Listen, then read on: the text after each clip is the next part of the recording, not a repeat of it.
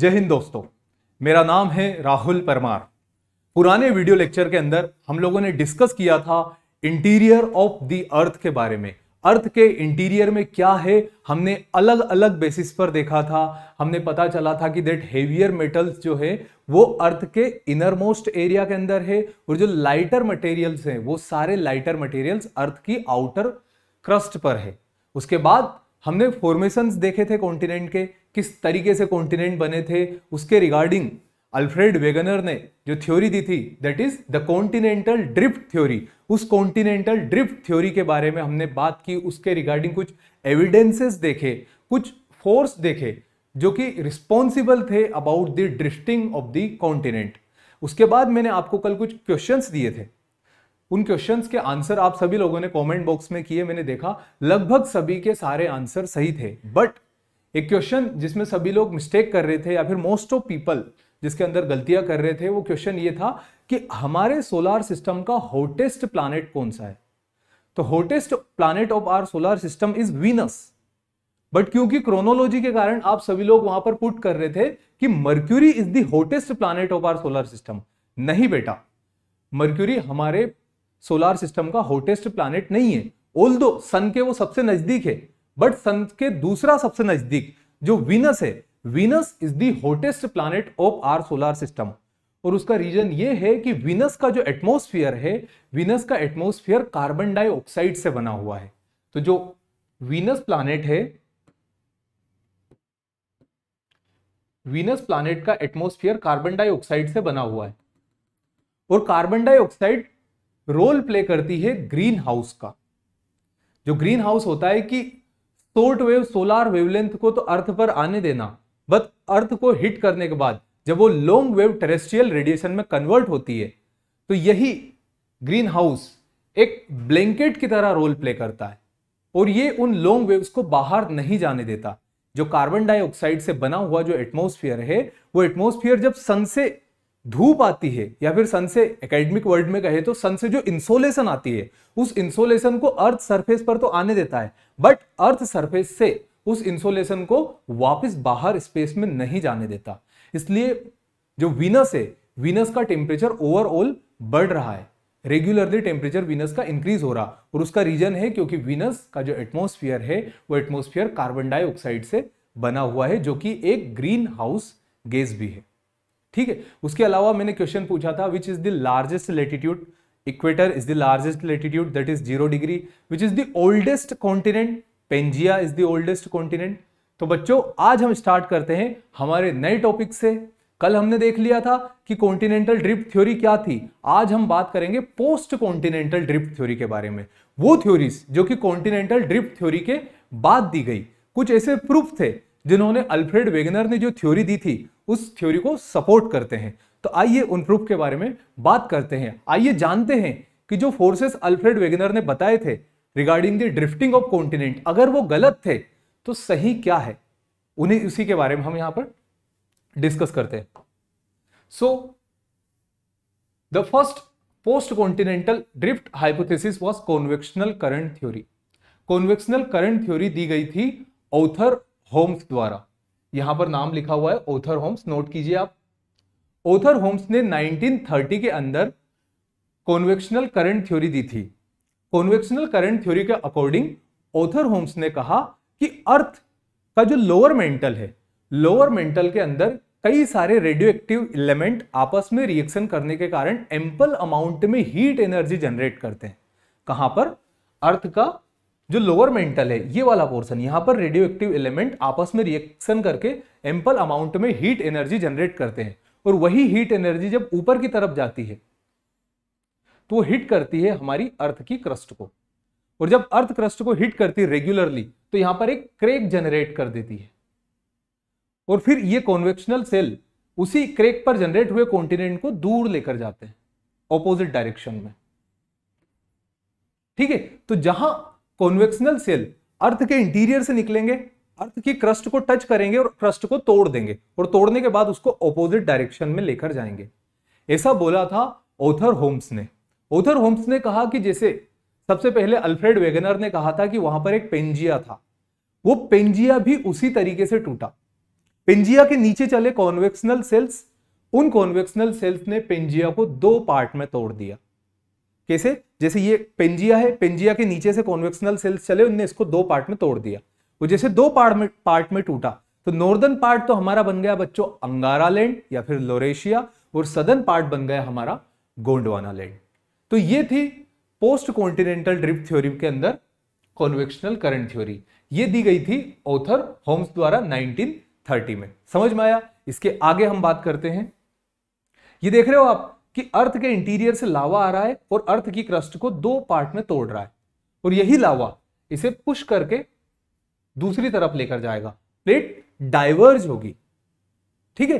पहले तो crack generate होगा क्रस्ट पर, फिर क्रेक जनरेट होने के बाद क्रस्ट दूर जाएगी और क्रस्ट दूर मूवमेंट करेगी वहाँ से according to convectional current theory which is given by Arthur Holmes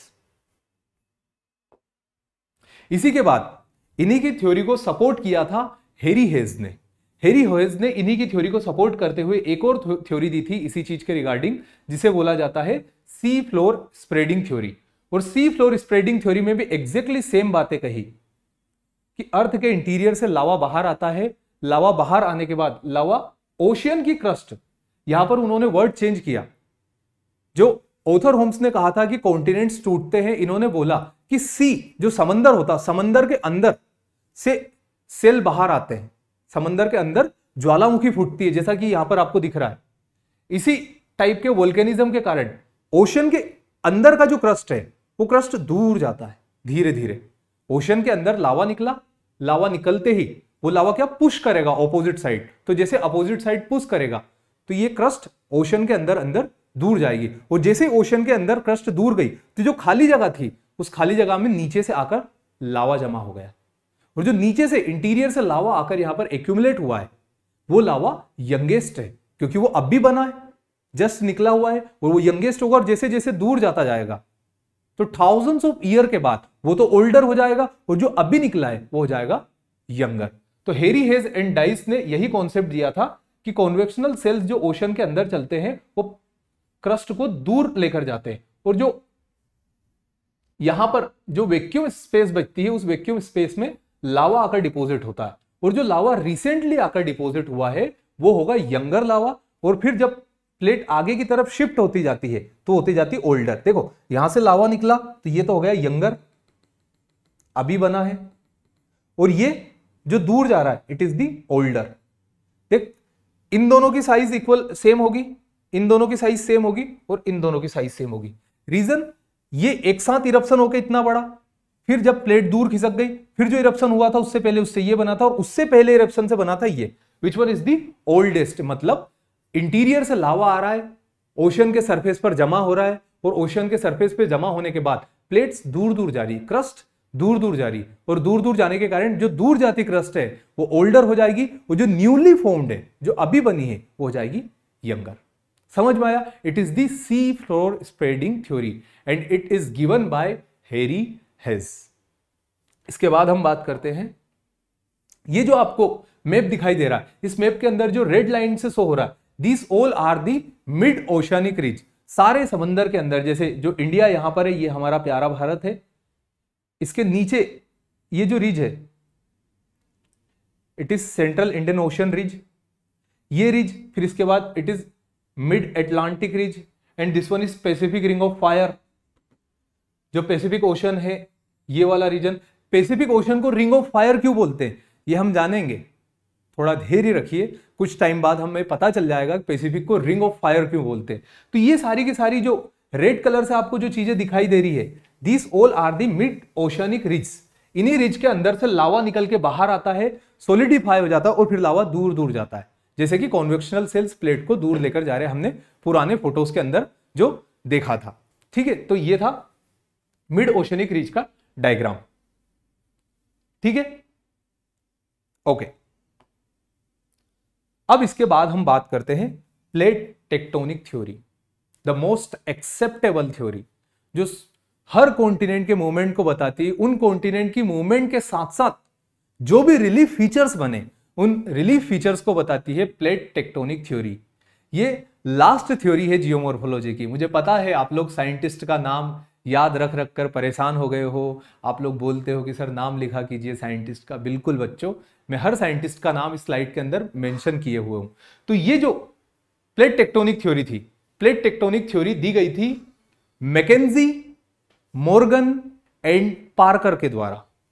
मैकेजी, Morgan and Parker ने प्लेट टेक्टोनिक थ्योरी दी थी 1967 में।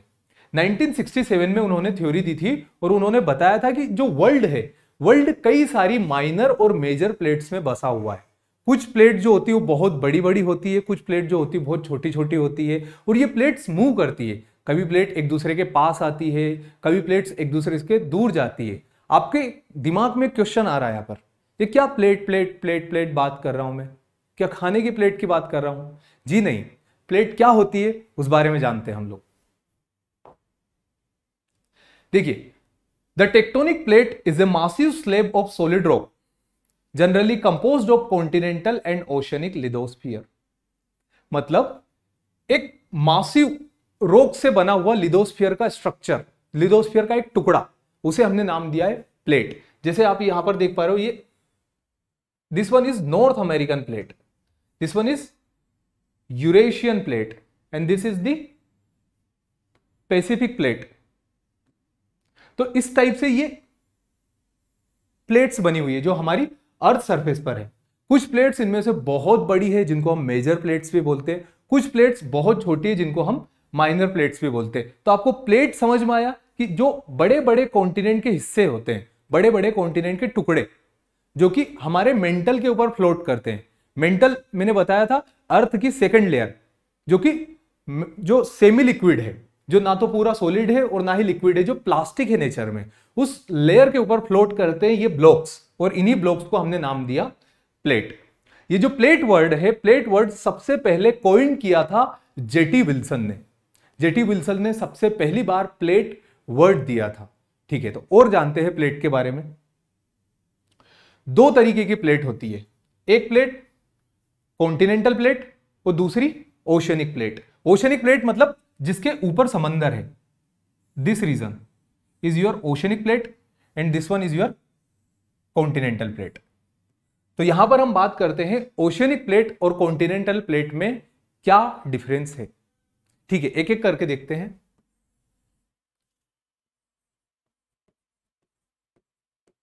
Oceanic plate continental plate first जो आप देख पा रहे हो। कॉन्टिनेंटल प्लेट इज़ थिक जो कॉन्टिनेंटल प्लेट है वो कंपेरेटिवली बहुत मोटी है। इसकी जो विथ होती, वो होती 70 किलोमीटर अप्रोक्स वही ओशनिक प्लेट की विथ होती है 15 टू 30 किलोमीटर तो कॉन्टिनेंटल प्लेट इज़ थिक एक second oceanic plate is thin and continental plate is thick समझ में आ रहा डायग्राम के अंदर? दूसरा ओशनिक जो प्लेट होती है ओशनिक प्लेट की डेंसिटी होती है three gram cubic centimetre and continental plate की डेंसिटी होती है 2.7 ग्राम क्यूबिक सेंटीमीटर ठीक है? तो पहला the oceanic plate is thin या फिर thinner and the continental plate is thicker the oceanic plate की डेंसिटी होती है three gram cubic centimetre continental plate की डेंसिटी होती है two point seven gram cubic centimetre मतलब ये लाइटर है और ये डेंसर है. एक और, इनके कलर को आप देख पा रहे हो तो कलर में भी एक और डिफरेंस देख रहे हो आप लोग. It is lighter in colour the continental crust और the continental plate is lighter in colour and the oceanic plate is darker in color.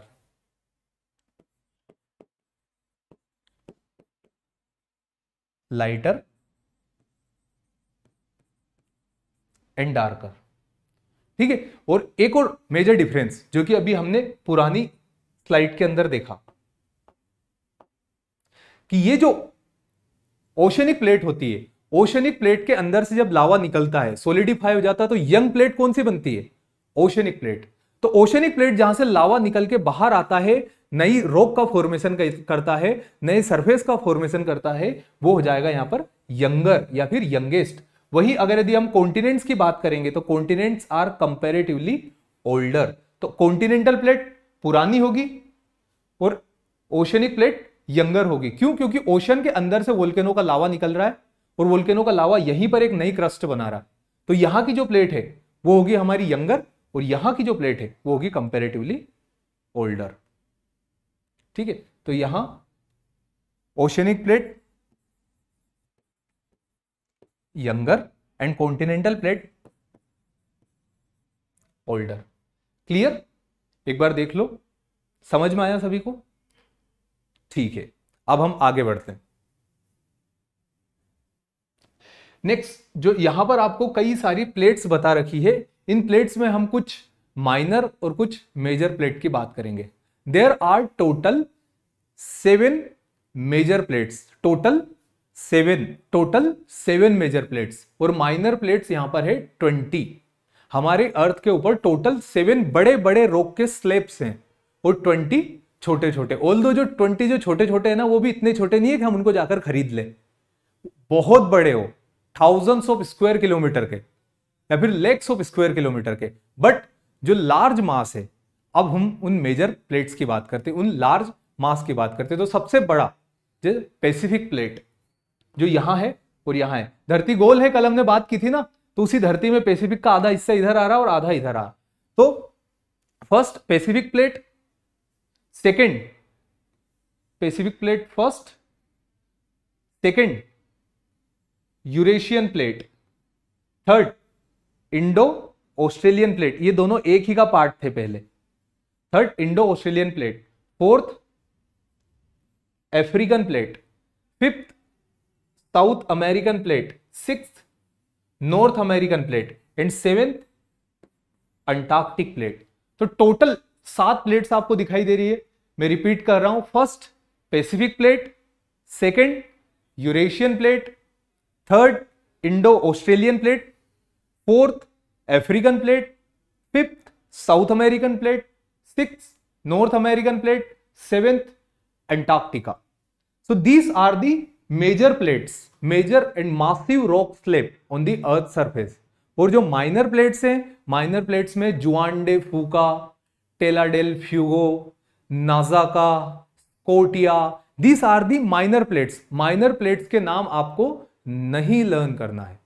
जब आप करंट अफेयर में पढ़ते हो कुछ चीज़ें, और माइनर प्लेट से रिलेटेड अगर कुछ आता है, तब आपको वहाँ पर पढ़ना है। डायरेक्टली क्वेश्चन माइनर प्लेट के ऊपर नहीं आते बट मेजर प्लेट के ऊपर क्वेश्चन फ्रेम हो सकते हैं। आपको चार ऑप्शन दे देंगे, और उनमें से बोलेंगे, इनमें से कौन सी मेजर प्लेट है?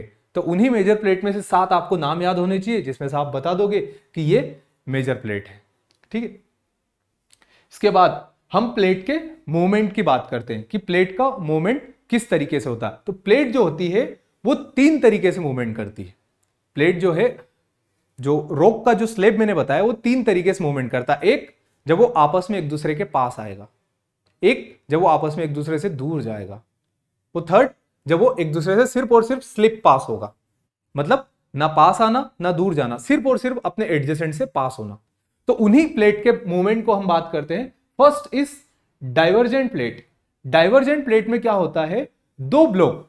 या तो दोनों कॉन्टिनेंटल कॉन्टिनेंटल प्लेट हो सकती है, या फिर दोनों ओशनिक ओशनिक प्लेट हो सकती है, या फिर एक कॉन्टिनेंटल, एक ओशनिक प्लेट हो सकती है। तो पहले डाइवर्जेंट मतलब प्लेट का एक दूसरे से दूर जाना। दूसरा, कॉन्वर्जेंट, जिसमें दोनों प्लेट एक दूसरे के पास आती है। तो कॉन्वर्जेंट प्लेट में क्या होता है? ये प्लेट इसके पास आ रही, ये प्लेट इसके पास आ रही। अब यहाँ पर मैटर करता है कि जो प्लेट हेवियर है हेवियर प्लेट नीचे चली जाएगी और लाइटर प्लेट ऊपर चली जाएगी। वो कितनी होगी? वो प्लेट की साइज़ से पता चल जाता है। तो यहाँ पर होता है कॉन्वर्जेंट थर्ड होता है ट्रांसफॉर्म ट्रांसफॉर्म में क्या होता है? ट्रांसफॉर्म जो होता है ट्रांसफॉर्म के अंदर प्लेट ना एक दूसरे के पास आती, ना एक दूसरे से दूर जाती।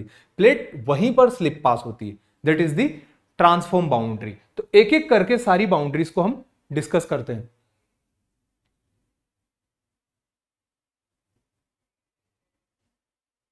ठीक है, सबसे पहले हम बात करते हैं कॉन्वर्जेंट बाउंड्री की। कॉन्वर्जेंट बाउंड्री मतलब दो प्लेट का एक दूसरे के पास आना। इसी को हम डिस्ट्रक्टिव बाउंड्री भी कहते हैं। ये देखो, दो प्लेट एक दूसरे के पास आ रही है। जब दो प्लेट एक दूसरे के पास आएगी तो यहाँ पर जो लैंडमास है, वो लैंडमास अर्थ के अंदर चला जाएगा।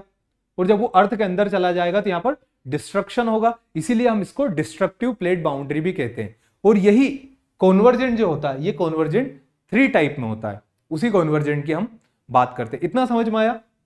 जब दो प्लेट आपस में आकर कोलाइड होगी तो कोलिजन के कारण जो हेवियर प्लेट है, वो सबडक्शन जोन में चली जाएगी। सबडक्शन जोन वो जोन जो प्लेट के नीचे होता है। जब दो प्लेट कोलाइड हुई हेवियर प्लेट नीचे जाएगी सबडक्शन जोन में। This one is the subduction zone तो यहाँ पर क्या हो रहा है? जब प्लेट सबडक्शन जोन में जा रही है इट मीन्स कि यहाँ पर डिस्ट्रक्शन हो रहा है। तो इस प्लेट का हो जाएगा यहाँ पर डिस्ट्रक्शन वो लाइटर प्लेट ऊपर आ जाएगी।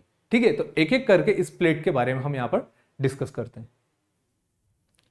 First continental continental collision continental continental collision में मैंने क्या बोला था? दो तरीके की प्लेट बताई थी, एक ओशियनिक प्लेट दूसरी कॉन्टिनेंटल प्लेट तो जब दोनों ही कॉन्टिनेंटल प्लेट हो, और दोनों ही कॉन्टिनेंटल प्लेट आपस में टकरा जाए, जब दो कॉन्टिनेंटल प्लेट आपस में आकर कोलाइड हो जाती है तो क्या होता है? जब दो कॉन्टिनेंटल प्लेट आपस में आकर कोलाइड हो जाती है तो वहाँ पर बनते हैं फोल्ड माउंटेन या फिर सिर्फ़ माउंटेन तो ये जो आपको दिख रहे हैं दीस आर दी माउंटेन्स और ये माउंटेन्स कहाँ बने हैं? जहाँ पर दो कॉन्टिनेंटल प्लेट आपस में आकर कोलाइड हो रही है। इसका एग्ज़ाम्पल है the mighty Himalaya Himalaya which is situated in India Nepal Bhutan and Myanmar China इनके अंदर जो फैला है, हिमालय, वो हिमालय, दो कॉन्टिनेंटल कॉन्टिनेंटल प्लेट के कोलिजन के कारण बसा हुआ है, बना हुआ है। इंडियन प्लेट पहले गोंडवाना का हिस्सा हुआ करती थी, पहले गोंडवाना का पार्ट थी, हमने कॉन्टिनेंटल ड्रिफ्ट थ्योरी में देखा। गोंडवाना से इंडियन प्लेट टूटी और उसने उत्तर पूर्व की तरफ़ नॉर्थ ईस्ट रीजन की तरफ़, उत्तर पूर्व की तरफ़ अपनी दिशा निर्धारित की और वो उत्तर पूर्व की तरफ़ उसने जैसे ही चलना स्टार्ट किया, और जब वो जैसे नॉर्थ में गई एकदम नॉर्थ में जाने के बाद, वो टकरा गई पहले से मौजूद यूरेशियन प्लेट से। यूरेशियन प्लेट यहाँ पर ऑलरेडी अवेलेबल थी। इंडियन प्लेट जो थी, उसने नॉर्थ ईस्टवर्ड मूवमेंट किया और नॉर्थ ईस्टवर्ड ईस्टवर्ड मूवमेंट करने के बाद यहाँ आकर वो कोलाइड हो गई। जैसे इंडियन प्लेट यहाँ आकर कोलाइड हुई तो कोलिजन के कारण दोनों प्लेट की जो बाउंड्री थी, उस बाउंड्री पर बने माइटी हिमालय जो कि वर्ल्ड की हाईएस्ट माउंटेन रेंज है, माउंट एवरेस्ट, जिसे सागर मठ भी कहा जाता है, जो कि नेपाल के अंदर है। ठीक है? तो जब दो कॉन्टिनेंटल कॉन्टिनेंटल प्लेट आपस में कोलाइड करती है तो वहाँ पर जो रिजल्टेंट लैंडमास बनता है, वो रिजल्टेंट लैंडमास होगा हमारा फोल्ड माउंटेन ये था हमारी इंडियन प्लेट का मूवमेंट यहाँ पर देखो 71 million year ago Indian plate बहुत नीचे थी। इवन इक्वेटर के भी नीचे। फिर 55 मिलियन ईयर एगो पर इक्वेटर के पास आ गई थी Indian plate 38 million year ago equator के सिर्फ़ सदर्न टिप इंडियन प्लेट की इक्वेटर पर थी। बाकी इंडियन प्लेट क्रॉस कर चुकी थी। 10 मिलियन ईयर एगो 10 million year ago in tertiary period Indian plate collide हो गई यूरेशियन प्लेट से। और जैसे इंडियन प्लेट यूरेशियन प्लेट से कोलाइड हुई, उस कोलिजन के कारण यहाँ पर विश्व के सबसे ऊँचे पहाड़ बने। जिनका नाम है हिमालय। ये माउंटेन रेंज स्टार्ट होती है कश्मीर से और ये माउंटेन रेंज चलती है अरुणाचल प्रदेश तक। और अरुणाचल प्रदेश के बाद यही माउंटेन रेंज साउथवर्ड मूवमेंट करती है हमारे नॉर्थ ईस्ट स्टेट में, हमारे उत्तर पूर्वी राज्यों में, जिसके अंदर इन्हें पूर्वांचल कहा जाता है। तो यही हिमालय का फॉर्मेशन कैसे हुआ है? इंडियन प्लेट के यूरेशियन प्लेट के साथ कोलिजन के कारण। ठीक है। अब इसी में हम आगे बात करते हैं कॉन्टिनेंटल ओशनिक कोलिजन एक तरफ़ तो कॉन्टिनेंटल प्लेट और दूसरी तरफ़ ओशनिक प्लेट तो ओशनिक प्लेट हेवियर है, मानते हो? हमने पहले डिस्कस किया था कि ओशनिक प्लेट की डेंसिटी जो है, वो है थ्री ग्राम क्यूबिक सेंटीमीटर वही कॉन्टिनेंटल प्लेट की जो डेंसिटी है it is 2.7 gram per cubic centimetre तो ओशनिक प्लेट जो कि हेवियर है, वो ओशनिक प्लेट सबडक्ट करेगी. और जो कॉन्टिनेंटल प्लेट है कॉन्टिनेंटल प्लेट उसके ऊपर जाएगी। तो ओशनिक प्लेट जो कि यहाँ पर सबडक्ट कर रही है सबडक्ट करने के बाद ये जो पार्ट है, ये पार्ट जाएगा सबडक्शन जोन के अंदर, जिसे बेनियोप जोन भी बोलते हैं।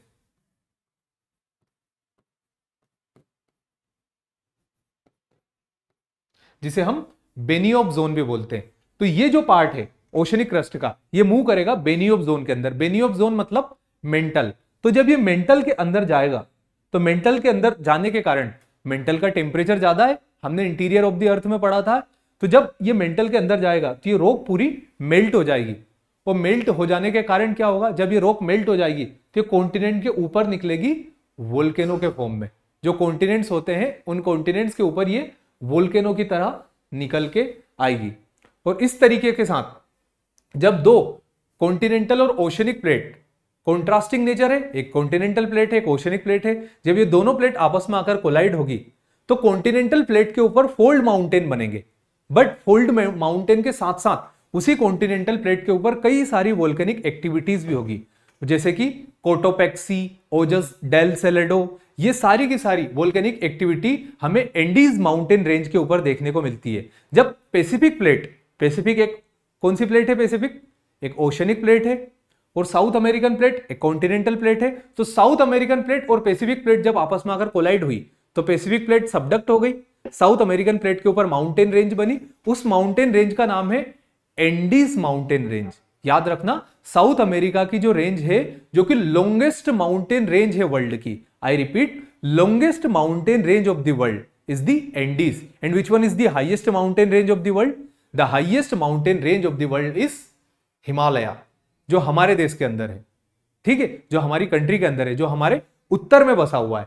तो Himalaya is the highest mountain range and Andes is the longest mountain range जो साउथ अमेरिका है, उस साउथ अमेरिका के पूरे सदर्न टिप पर बसी हुई है एंडीज माउंटेन रेंज और इसी एंडीज माउंटेन रेंज के अंदर Cotopaxi Ojos del Salado type की कई सारी वोल्केनिक एक्टिविटीज़ होती है। और ये वोल्केनिक एक्टिविटी क्यों हुई? क्योंकि सबडक्शन जोन में पेसिफिक प्लेट गई हाई टेम्परेचर के कारण वो मेल्ट हुई और मेल्ट होने के कारण कॉन्टिनेंटल प्लेट के ऊपर वोल्केनिज्म हुआ। जब प्रेशर बना यहाँ पर, तेज प्रेशर बना तो प्रेशर बाहर की तरफ़ निकला, in the form of volcano. याद रखना, वोल्केनो जो होती है वोल्केनो का होना बहुत ज़रूरी है।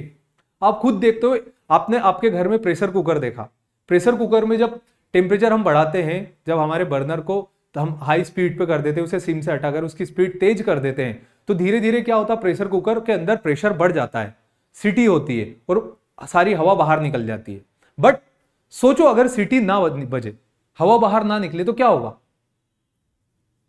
ब्लास्ट उसी तरीके से, अर्थ के अंदर से अगर यदि वोल्केनिज्म ना हो, इस टाइप की वोल्केनिक एक्टिविटी ना हो तो ये अर्थ जिसके ऊपर आप में हम सब हैं, हमारा देश है, जिसके अलग अलग कोने में बच्चों आप लोग बैठे हो, जिसके अलग एक किसी छोटे से कोने में मैं आपको पढ़ा रहा हूँ, वो फूट जाएगा। इसलिए वोल्केनिक एक्टिविटी होना ज़रूरी है। इसके बाद हम कॉन्टिनेंटल ओशनिक कोलिजन के बाद हम आगे बात करते हैं ओशनिक ओशनिक कोलिजन के बारे में। जब दो ओशनिक ओशनिक प्लेट आपस में आकर कोलाइड होती है तो दोनों हेवियर होती है। ओशनिक प्लेट हेवियर होती है कॉन्टिनेंटल प्लेट लाइटर होती है। हमने डेंसिटी की बात की थी बट जिस प्लेट की साइज़ ज़्यादा है, वो प्लेट सबडक्ट कर जाएगी। उसी की डेंसिटी वहाँ पर ज़्यादा होगी, जो प्लेट साइज़ के साथ ज़्यादा होगी, वो सबडक्ट कर जाएगी दूसरी प्लेट के अंदर। वो जैसे सबडक्शन होगा। तो ये जो एरिया बन रहा है, ये ओशन के अंदर की बात कर रहा हूँ मैं। पानी के अंदर की दो प्लेट आपस में आकर टकरा रही ओशनिक ओशनिक प्लेट और जहाँ पर कोलिजन हो रहा, वहाँ पर एक डिप्रेशन क्रिएट हो रहा। ये देखो, यहाँ पर एक डिप्रेशन बन रहा। Oceanic plate and oceanic plate जैसे एक ओशनिक प्लेट नीचे जाएगी, दूसरी ओशनिक प्लेट के। तो यहाँ पर जो डिप्रेशन बन रहा है, इस डिप्रेशन को हम ज्योग्राफी में बोलते हैं ट्रेंच जो कि ओशियन के अंदर होता है, जहाँ दो प्लेट आपस में आकर कोलाइड होती है और एक बहुत गहरा हिस्सा होता है।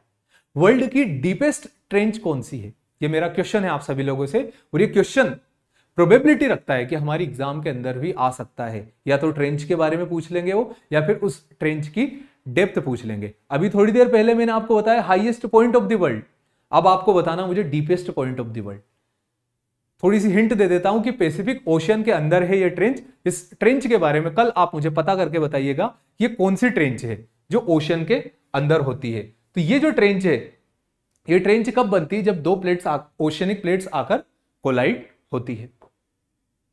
अब इसके बाद हम बात करते हैं डाइवर्जेंट प्लेट के बारे में। अभी हमने देखी कॉन्वर्जेंट प्लेट कॉन्वर्जेंट प्लेट में क्या देखा? प्लेट्स आपस में आकर कोलाइड हो रही है। अलग अलग नेचर में देखा। Continental continental plate oceanic continental plate and oceanic oceanic plate अब हम बात करेंगे डाइवर्जेंट प्लेट के बारे में कि डाइवर्जेंट प्लेट किस तरीके से अपना रोल प्ले करती है। तो डाइवर्जेंट प्लेट क्या होता है? जब लिदोस्फियर की दो प्लेट एक दूसरे से टूटकर दूर जाती है, उसे हम डाइवर्जेंट प्लेट बोलते बोलते हैं। और यहाँ पर हमने लिखा है कंस्ट्रक्टिव बाउंड्री इसे कंस्ट्रक्टिव बाउंड्री क्यों बोलेंगे? सोचो। क्यों इसे हम कंस्ट्रक्टिव बाउंड्री बोलेंगे? और क्यों हमने कॉन्वर्जेंट प्लेट को डिस्ट्रक्टिव बाउंड्री कहा। आपको पता है इसका आंसर। जब दो प्लेट आपस में आकर कोलाइड होती है तो एक प्लेट अंदर चली जाती है मतलब क्या हुआ? डिस्ट्रक्शन। बट जब दो प्लेट एक दूसरे से दूर जाती है, जब प्लेट एक दूसरे से दूर मूव करती है तो डाइवर्ज हो जाने के कारण क्या होता है? जैसे ही वो डाइवर्ज हुई, यहाँ पर वैक्यूम की कंडीशन बनी। यहाँ पर एक ऐसा एरिया बना जो कि एम है, जो खाली है। उस खाली एरिया में क्या होगा? अंदर से आके लावा आ जाएगा। क्या हुआ जब प्लेट एक दूसरे से दूर गई? तो दूर जाने के कारण अंदर से निकल के लावा आया और लावा आकर यहाँ पर एक्यूमुलेट हो गया। तो लावा के एक्यूमुलेशन से क्या हुआ? नई प्लेट बन गई। यही तो होता है जब प्लेट दूर जाती है या फिर कहीं भी जब वोल्केनिज्म होता है तो वोल्केनो के अंदर से जैसे लावा निकलता है तो लावा के निकलते से ही नई चट्टान बनती है। वैसे जब प्लेट दूर गई और जो बीच में इम्टी स्पेस बनी, उस इम्टी स्पेस में नीचे से निकल के आया लावा और इस लावा ने यहाँ पर एक नई प्लेट बना दी। इसीलिए हम डाइवर्जेंट बाउंड्री को कंस्ट्रक्टिव बाउंड्री भी कहते हैं। ये दो टाइप की होती है। इसके बारे में जानते हैं हम। First, continental continental divergent. Continental continental divergent में क्या होता है? दो continental plate. Continental continental divergent में क्या? दो कॉन्टिनेंटल प्लेट आपस में एक दूसरे से दूर जाए। जब दो कॉन्टिनेंटल प्लेट आपस में एक दूसरे से दूर जाएगी तो एक दूसरे से दूर जाने के कारण वहाँ पर जो लैंडमास बनेगा, उस लैंडमास को हम बोलेंगे रिफ्ट वैली रिफ्ट वैली का एग्ज़ाम्पल आपको अफ्रीका के अंदर देखने को मिलेगा। अफ्रीका जिसे हम डार्क कॉन्टिनेंट भी कहते हैं। अफ्रीका जिसे हम अंडर डेवलप्ड कॉन्टिनेंट भी कहते हैं। अफ्रीका वो कॉन्टिनेंट जिसके ऊपर से तीनों लाइन पास हुई है। Tropic of cancer tropic of capricorn and equator उसी अफ्रीका के अंदर आपको ईस्टर्न पार्ट ऑफ़ अफ्रीका में द ग्रेट रिफ्ट वैली देखने को मिलेगी। तो ग्रेट रिफ्ट वैली में क्या हुआ? प्लेट डाइवर्ज हुई। जब वो कॉन्टिनेंटल ब्लॉक डाइवर्ज हुआ तो डाइवर्ज होने के कारण वहाँ पर क्या बनी? Rift valley. And second is block mountain. Block mountain क्या होता है? एक तो होती है फोल्ड माउंटेन।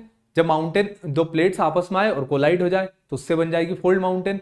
और ब्लॉक माउंटेन क्या होगी? जब एक प्रेशर लगे, एक टेंशनल फोर्स लगे ऑपोजिट डायरेक्शन में। ये था कॉम्प्रेशनल फोर्स और ये होगा टेंशनल फोर्स तो टेंशनल फोर्स के कारण जैसे प्लेट टूट जाएगी तो टूटने के कारण वो हमें दो अलग अलग पार्ट में अपियर होगी। दो अलग अलग रेस्ड पार्ट में अपियर होगी। और उन्हीं रेस्ड पार्ट को हम बोलते हैं ब्लॉक माउंटेन जैसे कि ये प्लेट है। ये प्लेट जब ऑपोजिट डायरेक्शन में मूवमेंट करती है तो ऑपोजिट डायरेक्शन में मूवमेंट करने के कारण यहाँ पर कुछ इस टाइप का शेप बन जाता है।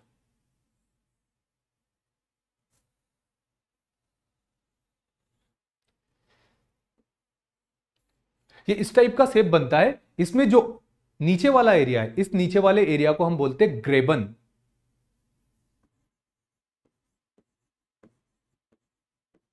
या फिर रिफ्ट वैली जो कि आपको डायग्राम में यहाँ पर दिख रहा। है और वही जो ऊपर वाला हिस्सा होता है, जो ये वाला, जो सरफेस जो फ्लैट एरिया आपको दिख रहा है इसे हम बोलेंगे host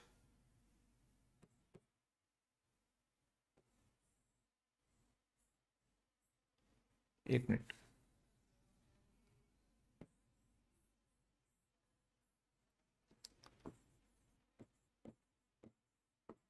Graben and this one is horst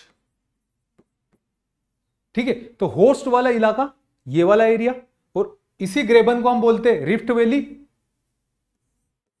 और इसी होस्ट को हम बोलते हैं ब्लॉक माउंटेन तो ब्लॉक माउंटेन इसी तरीके से बनते हैं कि जब दो प्लेट एक दूसरे से दूर जाती है, जब टेंशनल फोर्स एग्जर्ट होता है फोर्स एग्जर्ट होता है ऑपोजिट डायरेक्शन में। जब कॉन्वेक्शनल सेल्स प्लेट को तोड़कर दूर लेकर जाते हैं तो दूर ले जाने के कारण यहाँ पर बनता है block mountain and rift valley अच्छा हम बात करते हैं ब्लॉक माउंटेन और फोल्ड माउंटेन में क्या अंतर होता है। थोड़ी देर पहले हमने फोल्ड माउंटेन भी देखी, थोड़ी देर बाद हमने ब्लॉक माउंटेन भी देखी। तो ब्लॉक माउंटेन और फोल्ड माउंटेन में क्या डिफरेंस होता है? सबसे पहला डिफरेंस ब्लॉक माउंटेन की हाइट जो होती है जो उनका एल्टीट्यूड होता है वो बहुत ज़्यादा होता है। ब्लॉक माउंटेन का नहीं, फोल्ड माउंटेन का। एक मिनट में नोट कर देता हूँ। फोल्ड माउंटेन की जो हाइट होती है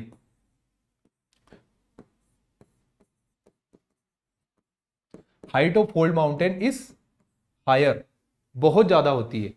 And height of block mountain is lower block mountain comparatively कम ऊँची होती है। और जो फोल्ड माउंटेन है फोल्ड माउंटेन कंपेरेटिवली ज़्यादा ऊँची होती है। क्यों? क्योंकि वो कंप्रेशनल फोर्स से बनी है। और ये कौन से फोर्स से बनी है? ये टेंशनल फोर्स से बनी। तो ये दूसरा डिफरेंस हो गया। It is formed of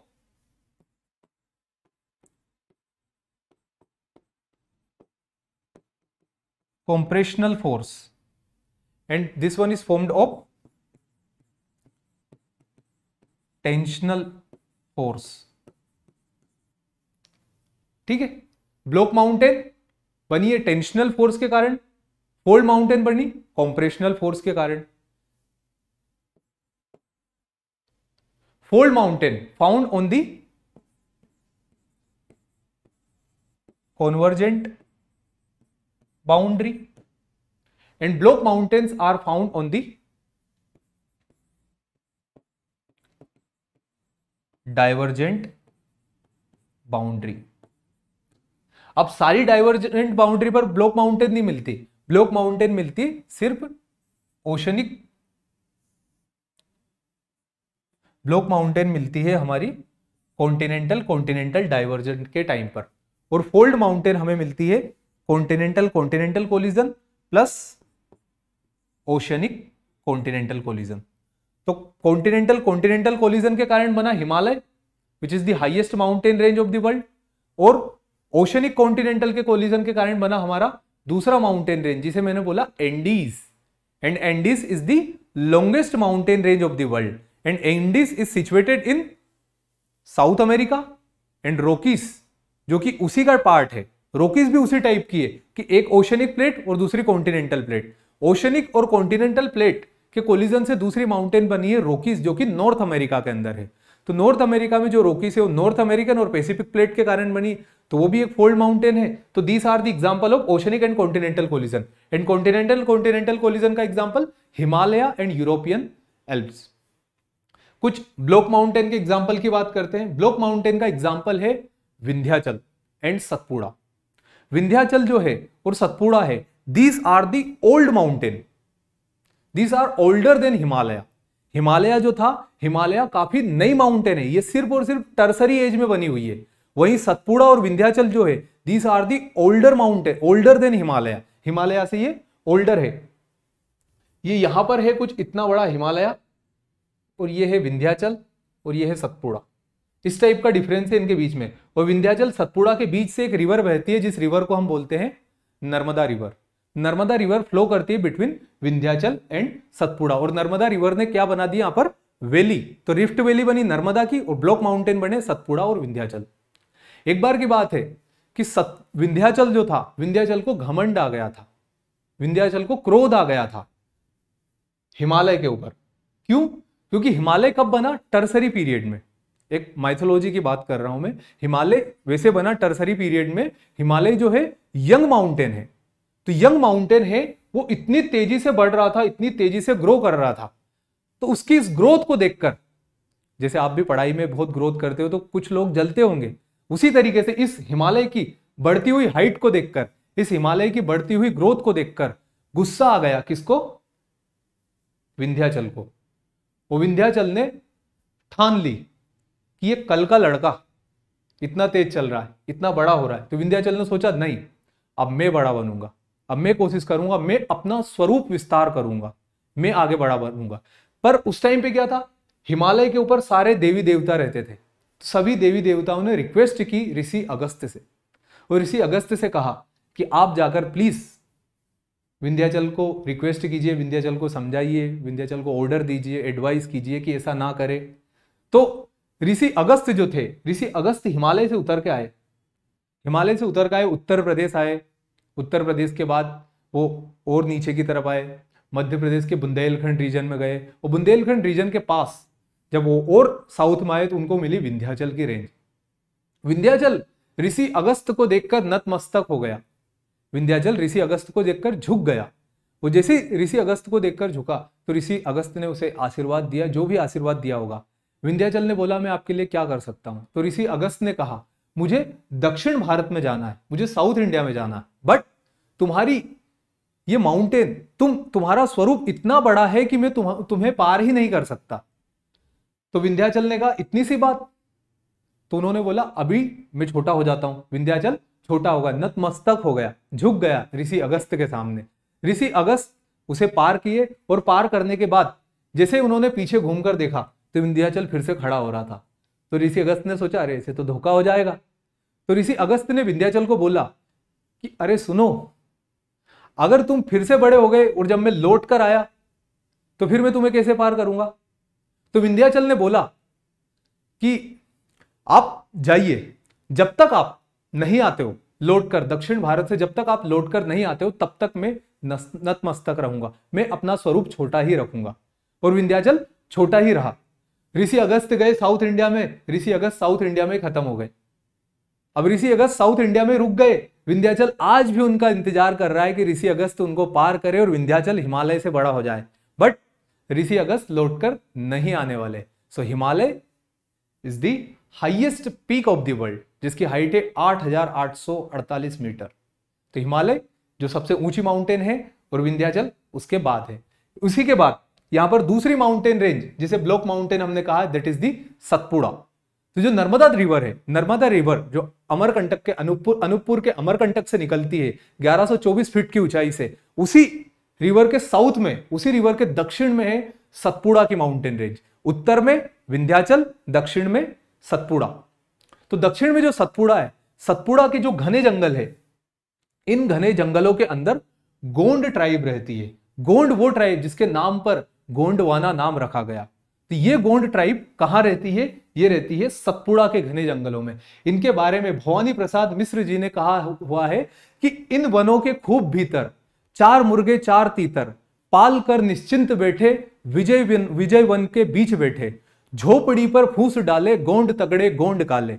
उन्हीं गोंड को बताते उन्होंने उन्होंने सतपुड़ा के पहाड़ों को बताया जो कि नर्मदा नदी के दक्षिण में जब हम इंडियन ज्योग्राफी की बात करेंगे तो इंडियन ज्योग्राफी के अंदर हम इन सतपुड़ा के पहाड़ों का भी ज़िक्र करेंगे। इन पहाड़ों के बारे में जानेंगे कि ये कैसे बने थे और इनके आसपास का वेजिटेशन कैसा है। तो वो बात हम तब करेंगे। मेरे ख्याल से अब आपको ब्लॉक माउंटेन में डिफरेंस समझ में आ गया होगा कि क्या होती है ब्लॉक माउंटेन और क्या होती है फोल्ड माउंटेन। फोल्ड माउंटेन बनती है कॉम्प्रेशनल फोर्स से ब्लॉक माउंटेन बनती है टेंशनल फोर्स से। फोल्ड माउंटेन जो होती है, वो बनती है कॉन्वर्जेंट बाउंड्री पर, ब्लॉक माउंटेन बनती है डाइवर्जेंट बाउंड्री पर। फोल्ड माउंटेन की हाइट बहुत ज़्यादा होती है और ब्लॉक माउंटेन की हाइट फोल्ड माउंटेन की हाइट से कम होती है। ठीक है। इसके बाद हम बात करते हैं ओशनिक ओशनिक डाइवर्जेंट के बारे में। तो जहाँ पर ओशनिक ओशनिक प्लेट का डाइवर्जेंट होता है, वहाँ पर बनती मिड ओशनिक रिज। हमने जो यहाँ पर पढ़ा था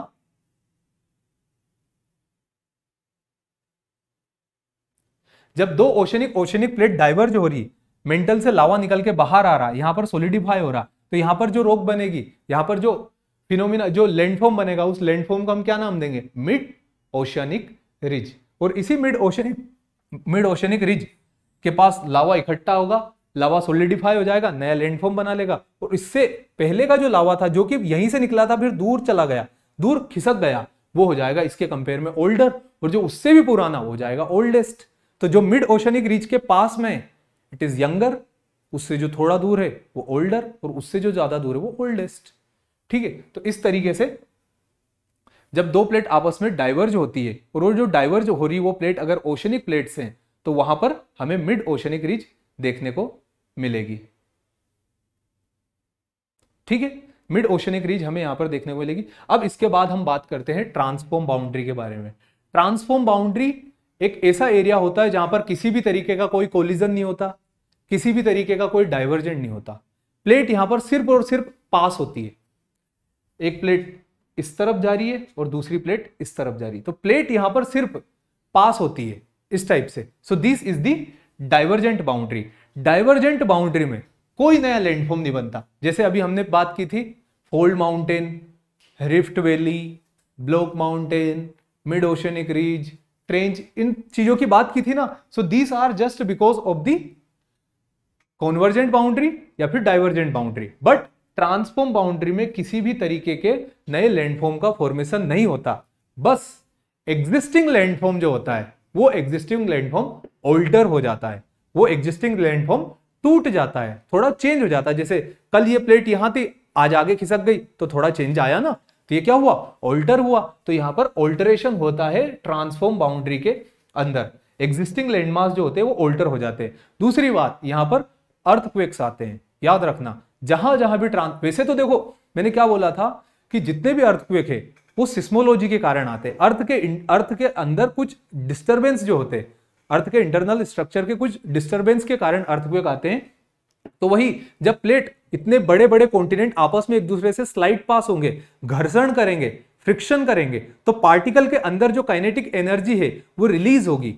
और वो एनर्जी एक वाइब्रेशन का फॉर्म लेगी, जिसे अर्थक्वेक हम कहेंगे। तो इस टाइप की जगह पर अर्थक्वेक आते हैं, जैसे कैलिफोर्नियन फोल्ट सेनेंड्रियास यहाँ पर अर्थक्वेक आते हैं।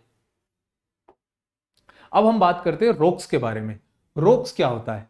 हमारा, अभी तक जो हमने देखा वो था continental drift theory plate tectonism and post continental drift theory continental drift theory में हमने क्या देखा था? अल्फ्रेड वेगनर ने बताया था, एक पेंजिया टूटा दो भाग में और फिर टूटता गया। टूटता गया और बने सात कॉन्टिनेंट्स फिर हमने उसके अंदर कुछ एविडेंसेस देखे लाइक जिग्जोफिट दूसरा फोजिल ऑफ़ सेम एज तीसरा similarities in the age of rocks उसके बाद polar wandering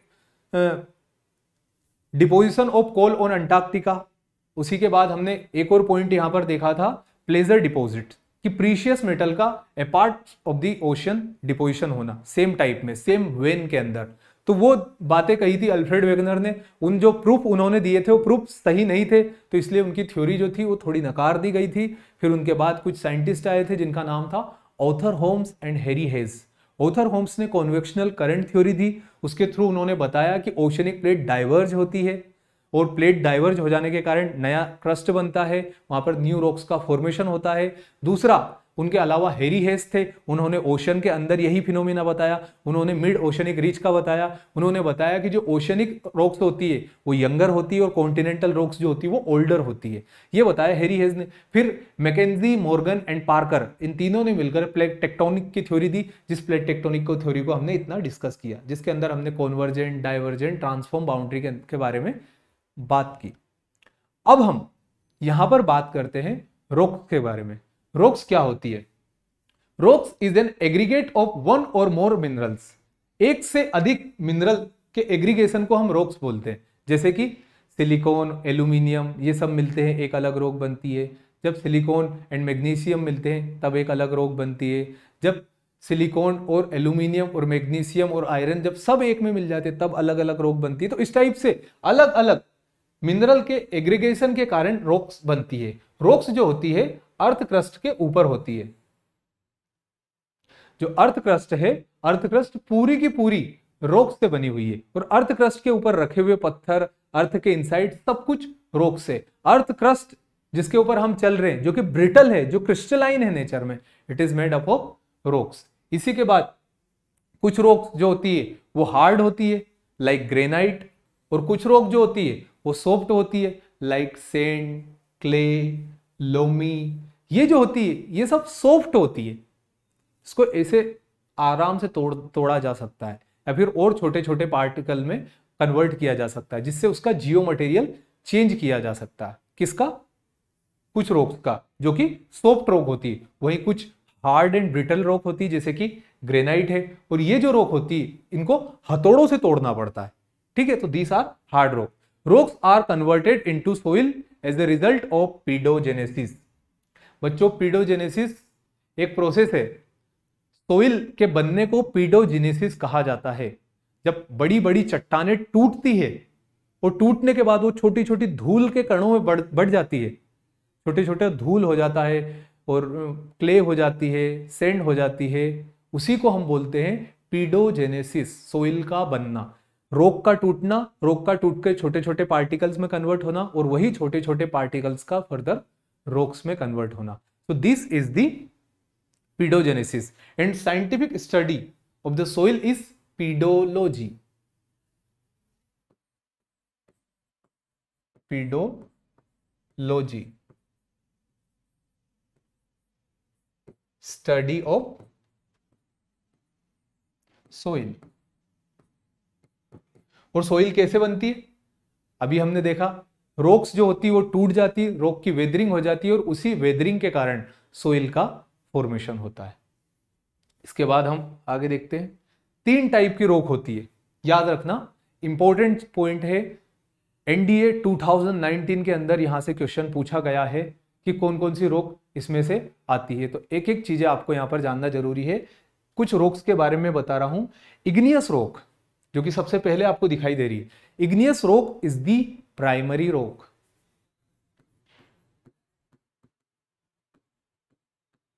igneous rock is the primary rock जब वोल्केनो से लावा निकल के बाहर आता है, वो बाहर आते ही जैसे वो सोलिडिफाई होता है।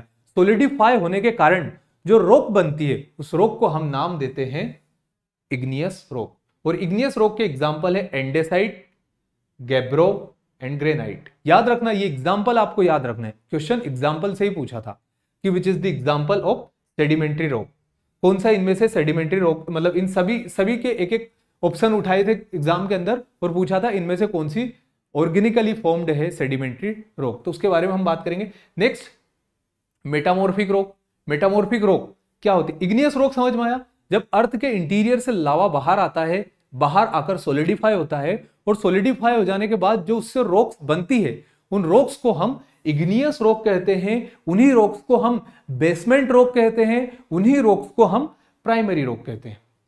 इग्नियस रोक के बाद, अगर इग्नियस रोक को हम बहुत टेम्परेचर दे, बहुत प्रेशर दे तो इग्नियस रोक के अंदर जो भी पार्टिकल्स हैं, वो पार्टिकल्स अपनी physical and chemical property change कर लेंगे और अपनी प्रॉपर्टी चेंज करने के कारण वो बन जाएँगे मेटामोर्फिक रोग मेटामोर्फिक रोग कैसे बनती है? Igneous rock plus high temperature and high pressure high temperature और हाई प्रेशर अगर इग्नियस रोग को दोगे तो ये बन जाएगी मेटामोर्फिक रोग तो इग्नियस रोग के बाद कैसे मेटामोर्फिक रोग बनती है? इतना आपको समझ में आया? इग्नियस से मेटामोर्फिक फिर अगर इग्नियस रोग है सपोज़ करो ये एक चट्टान है है ना? इस माउंटेन के ऊपर रोज बारिश हो रही है। समझ रहे हो? इस माउंटेन के ऊपर रोज बारिश हो रही, रोज यहाँ से हवा चल रही। तो रोज बारिश जब इसके ऊपर होगी तो धीरे धीरे क्या होगा यहाँ पर? ये माउंटेन इरोड हो जाएगी, इसका जियो मटेरियल कम हो जाएगा, इसके पार्टिकल्स छोटे छोटे हो जाएँगे। तो छोटे छोटे पार्टिकल्स हो जाने के कारण ये धीरे धीरे टूट टूट के नीचे आ जाएगी। और फिर जो नदियाँ होगी, उन छोटे छोटे टुकड़ों को बहाकर अपने साथ लेकर जाएगी। और जब नदी उन छोटे छोटे टुकड़ों को अपने साथ बहाकर ले जाएगी और जब वो लो लाइंड एरिया के अंदर जाएगी, ऐसा एरिया जहाँ पर स्लोप हो, उस स्लोपी एरिया के अंदर सारे पार्टिकल्स को ले जाकर डिपोजिट कर देगी। तो जैसे सारे पार्टिकल्स को वहाँ ले जाकर डिपोजिट करेगी और उस डिपोजिशन से जो रोक बनेगी दैट रोक इज़ सेडिमेंट्री रोक क्या हुआ? एक माउंटेन थी माउंटेन के ऊपर से एक पत्थर टूटकर नीचे गिर गया और उसी पत्थर के पास नदी बह रही थी। तो नदी उस पत्थर को अपने साथ बहाकर बहाकर बहाकर लुढ़का कर आगे धका कर कहाँ लेकर गई? बहुत दूर। वो जब काफ़ी दूर लेकर गई तो दूर ले जाने के बाद नदी का भी पोटेंशियल खत्म हो गया कि फर्दर वो उसको और कैरी करे। क्यों? क्योंकि नदी पहले छोटी थी, अब नदी बड़ी हो गई है। तो जब रिवर बड़ी हुई और उसका पोटेंशियल जो था, जो पहले एक छोटे से एरिया से प्रेशर से निकलता था, वो बड़े एरिया में जाता है तो उसने एक जगह वाटर को ले जाकर, उस पत्थर को ले जाकर ड्रॉप कर दिया। और जैसे वो पत्थर ड्रॉप हुआ, उस पत्थर के ऊपर दूसरे पत्थर आए, इस टाइप से कई सारे पत्थर मिले और उनसे मिलकर बनी सेडिमेंट्री रोक तो सेडिमेंट्री रोक का एग्ज़ाम्पल है सेंडस्टोन लाइमस्टोन एंड चाक तो sandstone limestone and chalk these are the example of sedimentary rock पहले हमने देखा इग्नियस रोक अर्थ के इंटीरियर से लावा निकलता सोलिडिफाई होता है और सोलिडिफाई हो जाने के कारण जो उससे रोक्स बनती है, उन रोक्स को हम बोलते हैं इग्नियस रोग। दूसरा हमने देखा मेटामोर्फिक रोग। मेटामोर्फिक रोग क्या होती है? उसी इग्नियस रोग को जब हम हाई टेम्परेचर और हाई प्रेशर प्रोवाइड कर दे तो इग्नियस रोग के पार्टिकल्स अपनी प्रॉपर्टी को चेंज कर लेंगे और प्रॉपर्टी को चेंज करने के बाद वो कन्वर्ट हो जाएँगे मेटामोर्फिक रोग के अंदर। और जब इग्नियस और मेटामोर्फिक रोग के ऊपर बारिश होगी, वो बारिश करके जब वो रोग का जियो मटेरियल को तोड़कर वो अपने साथ बहाकर लेके जाए और किसी लो लाइंड एरिया के अंदर डिपोजिट कर दे तो डिपोजिशन के बार बार डिपोजिशन, बार बार डिपोजिशन से जो रोक बनेगी, वो होगी सेडिमेंट्री रोक सेडिमेंट्री जो रोक होती है, वो लेयर्स में मिलती है, याद रखना। सेडिमेंट्री रोक जो होती स्ट्रेटा में मिलती है। स्ट्रेटा मतलब लेयर स्ट्रेटा मतलब लेयर तो जो सेडिमेंट्री रोक्स है सेडिमेंट्री रोक्स हमें स्ट्रेटा में मिलती है लेयर में मिलती पहले एक लेयर आकर जम गई, फिर दूसरी लेयर आकर जम गई, फिर तीसरी लेयर आकर जम गई। तो सेडिमेंट्री रोक हमें लेयर के फॉर्म में मिलती है। दूसरा, जब सेडिमेंट्री रोक्स आगे जाती है तो अपने साथ कई सारे पेड़ पौधों को लेकर भी जाती है, अपने साथ कई सारे मरे हुए जानवरों की हड्डियों को लेकर भी जाती है, और वो सभी इस रोग के अंदर डिपॉजिट होता जाता है। जब नदी अपने साथ सारी इन चीज़ों को लेकर जाएगी तो ये लो लाइंड एरिया के अंदर डिपॉजिट होता जाएगा, और डिपॉजिट होने के कारण क्या होगा यहाँ पर? जब ये डेड लिविंग डेड ऑर्गेनिज्म किसी एरिया के अंदर डिपॉजिट हो जाएँगे तो डिपॉजिट हो जाने के कारण क्या होगा? थाउजेंड्स ऑफ़ ईयर के बाद थाउज़ेंड डिग्री टेम्परेचर के बाद वो कन्वर्ट हो जाएँगे फोजिल फ्यूल्स में। और फोजिल फ्यूल्स में कन्वर्ट होने के बाद हमें यह पता चलेगा कि इस सेडिमेंट्री रॉक के अंदर फोजिल्स प्रेजेंट होते हैं। सेडिमेंट्री रॉक के अंदर हमें फोजिल्स मिलते हैं। क्यों? क्योंकि सेडिमेंट्री रॉक कैसे बनी है? रिवर के मूवमेंट के कारण बनी। रिवर एक एरिया से निकली और दूसरे एरिया तक जब अपनी जर्नी कंप्लीट कर रही थी तो उस जर्नी के दौरान रिवर ने अपने रास्ते में आए हुए सभी पेड़ पौधों, सभी मरे हुए जीवों की हड्डियों को अपने साथ लेकर गई और इस लो लाइंग एरिया के पास ले जाकर डिपॉजिट कर दी और उसी डिपोजिशन के ज़्यादा टाइम तक अर्थ के अंदर रहने के कारण, ज़्यादा टेम्परेचर में रहने के कारण वो कन्वर्ट हो गए फोजिल फ्यूल के अंदर। तो ये होता है सेडिमेंट्री रॉक सेडिमेंट्री रॉक का एग्ज़ाम्पल देख लो।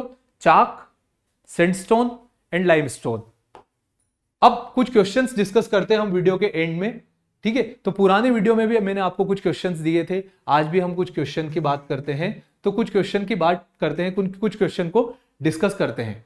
तो सबसे पहला क्वेश्चन मेरा which discontinuity present between the mantle and core ये मैं अर्थ के इंटीरियर की बात कर रहा हूँ। अर्थ के इंटीरियर में जो क्रस्ट है मेंटल है कोर है, वहाँ पर मेंटल और कोर के बीच में कौन सी डिसकंटिन्यूटी आती है?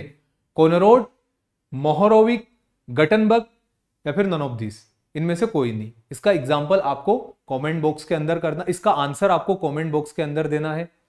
Next question what is the density of earth inner core earth का कोर को भी मैंने दो पार्ट में बांटा था। एक आउटर कोर और एक इनर कोर आउटर कोर और इनर कोर के बीच में भी एक डिस्कंटिन्यूटी थी। एक बार पुराने लेक्चर को देखना, अपने नोट्स को देखना। पुराने लेक्चर में आपने देखा था कि जो इनर कोर और आउटर कोर है, उसके बीच में एक डिसकंटिन्यूटी थी और वही डिसकंटिन्यूटी अलग करती है इनको। तो यहाँ पर हम इनर कोर के अंदर बात करेंगे कि इनर कोर की डेंसिटी क्या होती है। क्या three gram five gram eleven gram या फिफ्टीन ग्राम क्यूबिक सेंटीमीटर इनमें से जो भी आंसर है, आप लोगों को वो कमेंट बॉक्स में देना है।